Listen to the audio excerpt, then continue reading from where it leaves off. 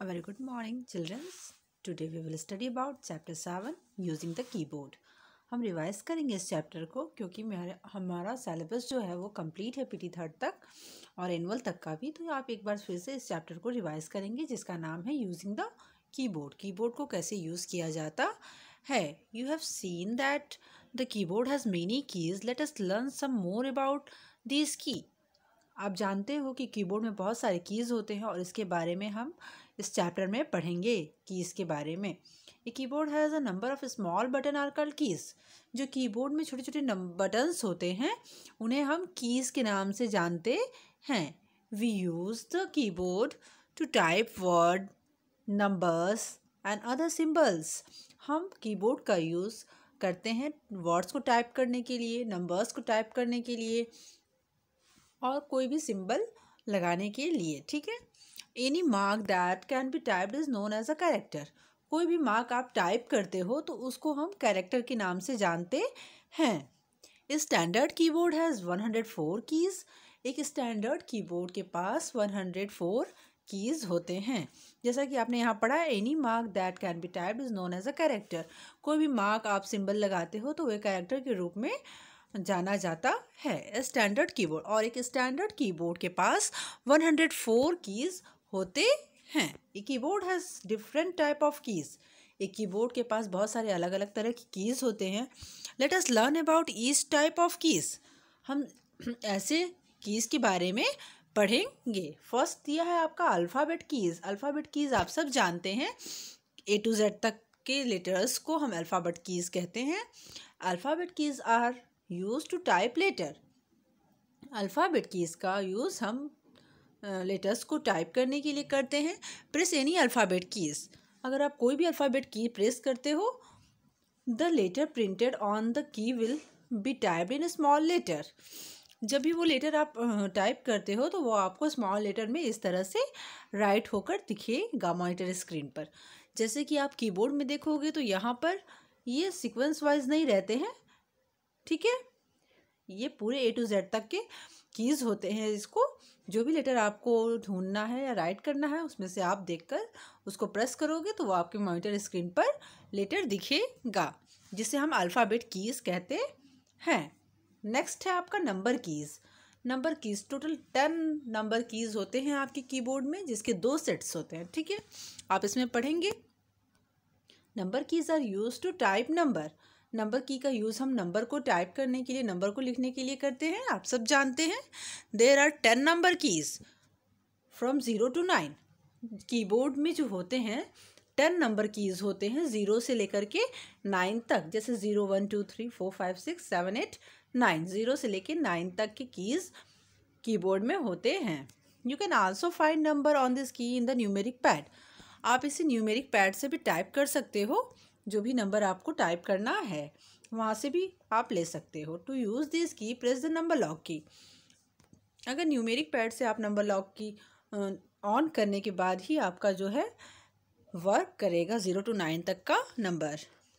यहाँ पर आपका नंबर लॉक है, इसे हम ऑन करेंगे तो यहाँ की लाइट ओपन होगी, जलेगी, ठीक है? फिर यहाँ से हम ज़ीरो से नाइन तक का कोई भी नंबर प्रेस करते हैं तो वो की माउस पर आपको शो करेगा। और नेक्स्ट है यहाँ पर, ज़ीरो टू नाइन तक के कीज़। दो सेट्स होते हैं कीज़ के एक कीबोर्ड में, ओके? नेक्स्ट आएँगे special character keys. Special character keys क्या होता है? ये जो स्पेशल कैरेक्टर कीज़ होते हैं उसमें कुछ कैरेक्टर कीज़ के जो होते हैं, वो अलग अलग कैरेक्टर होते हैं स्पेशल कीज़ के अलग अलग वर्क होते हैं उनके, जिसमें आप पढ़ेंगे तो keyboard has many special character और सिंबल कीबोर्ड के पास बहुत सारे स्पेशल कैरेक्टर होते हैं और सिम्बल्स होते हैं. When a symbol is place on the upper half of the key we press the key along with swift key to type special character अगर हमें कोई भी सिंबल चाहिए या स्पेशल कैरेक्टर चाहिए, जैसे कि आप ये ऊपर से देखोगे हैज़ है percentage greater than and star bracket plus अगर ये सब चाहिए आपको तो ये सब आप शिफ्ट के साथ प्रेस करोगे, तब वो आपको स्क्रीन पर दिखेगा। वो शिफ्ट के साथ ही जो सिम्बल्स हैं सारे, वो आप शिफ्ट के साथ प्रेस करना है। और नीचे के जो नंबर्स है, वो सिर्फ़ ओनली आप नंबर्स की क्लिक करेंगे तो वो नंबर जो है वो राइट होंगे, ठीक है? अगर आपको सिम्बल्स लेना है तो ये जो अपर के हाफ़ पर बनाया गया सिंबल है, उसे हम शिफ्ट के साथ क्लिक करेंगे। वन पे एक्सक्लामेटरी मार्क लगा है तो हम अगर एक्सक्लामेटरी मार्क चाहिए हमें तो हम शिफ्ट के साथ वन वाले की को प्रेस करेंगे। तब जाके आपका सिंबल मॉनिटर स्क्रीन पर आपको दिखेगा। ओके नेक्स्ट आएँगे नीचे फ़ंक्शन की फ़ंक्शन की क्या होता है?